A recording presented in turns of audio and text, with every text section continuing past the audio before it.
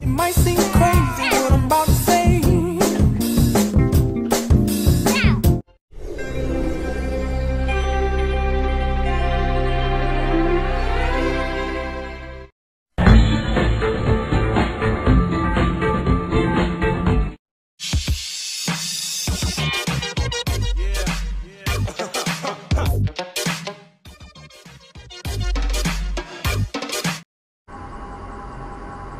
Timberland new logo.